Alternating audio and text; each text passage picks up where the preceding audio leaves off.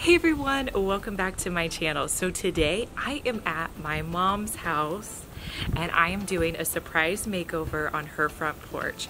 She knows I'm here doing something but not really sure what I'm up to so I'm gonna be working on her front porch making it all fall decked out.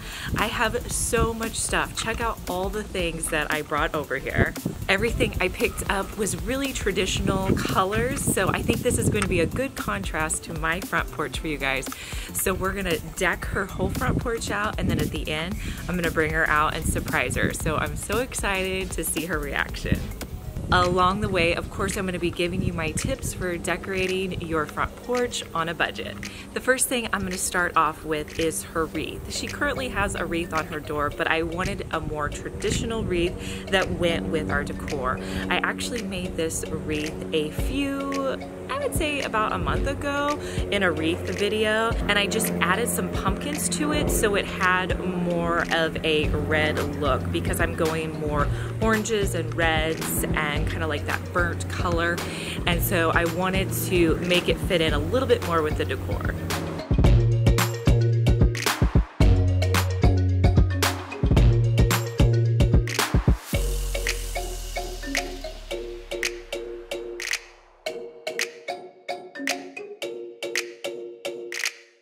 So many of you are gonna ask about the little wreath holder that my mom has on her door.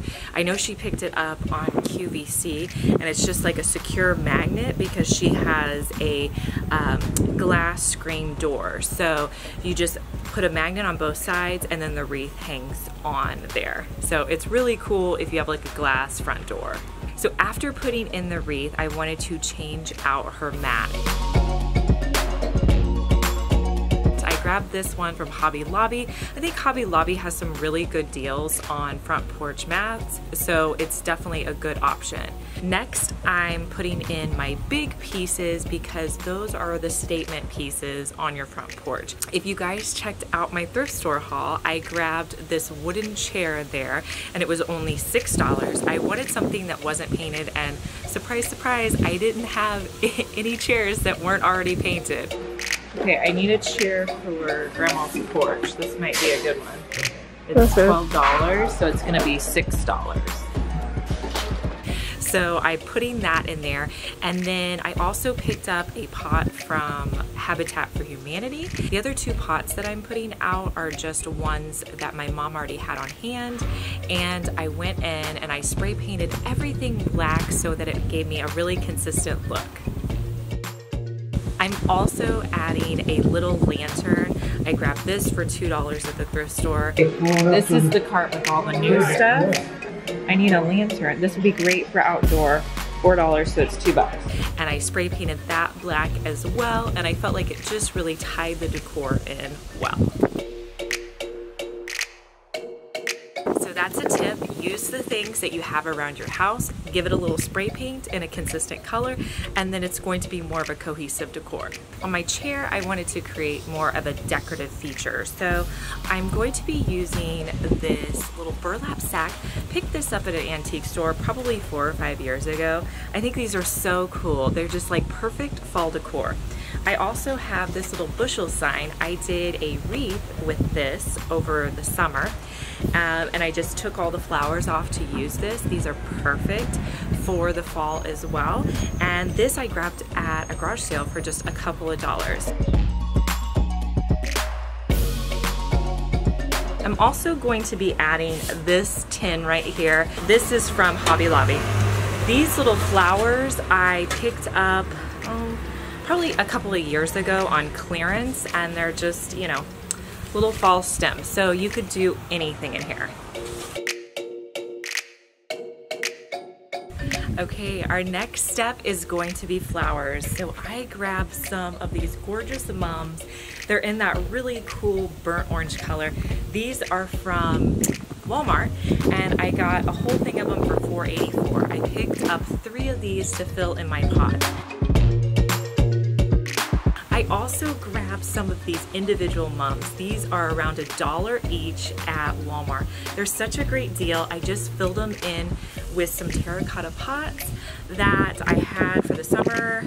I messed up and spilt one on the way over here, so I'm gonna have to go vacuum when I leave here, but that's okay. Walmart is also so great with their pumpkins. So I have the large orange pumpkins, those are $3.98 each.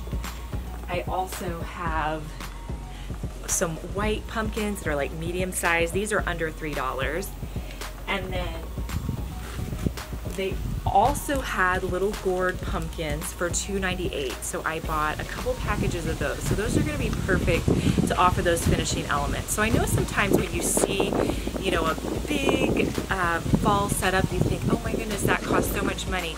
But really, you know, if you buy the mums and the pumpkins inexpensively, it's really not that much. I was able to do this whole front porch for under $100, probably under $80. I should figure it all out for you.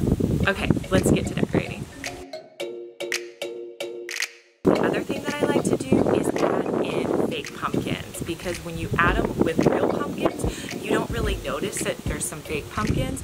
So I had my mom give me some of her orange fake pumpkins from around her house. Didn't tell her exactly what I was gonna do with them, but that way I can kind of add those in. So if you have fake pumpkins, don't be afraid to use those with your real ones. All right, you guys, I am finished decorating my mom's front porch. I think it turned out great. I'm gonna go inside and get her and bring her out and do the big reveal. So hopefully she likes it. All right, get you. Okay, come up here. okay. Okay, all right, don't open your eyes yet. Okay, all right. Ready? One, two, three.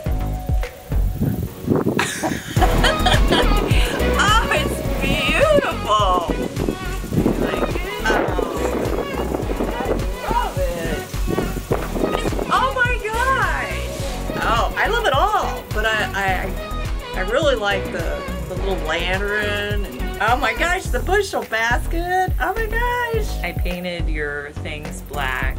I don't know. Oh, I like that. Actually, they look better like that. Oh my gosh, and all the little squash and pumpkins. You're welcome. Yeah. I love it. Oh, and the, oh, I didn't even notice the new, um, I could use that. Yeah, you got a new mat. I love it. The breathe. It all just,